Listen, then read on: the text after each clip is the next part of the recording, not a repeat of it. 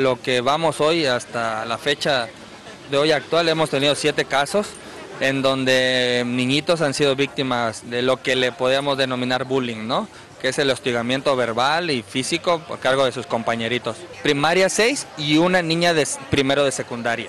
Hasta eso nos llama la atención de que han sido escuelas públicas. En otro caso, mi hijo, su maestra le llamaba gordito, lo insultaba, le llamaba, le llamaba burro, le llamaba menso. Entonces ahí nosotros, bueno, ¿qué pasa con la maestra? No, o sea, el bullying no nada más se da con el compañero, ahora con la maestra.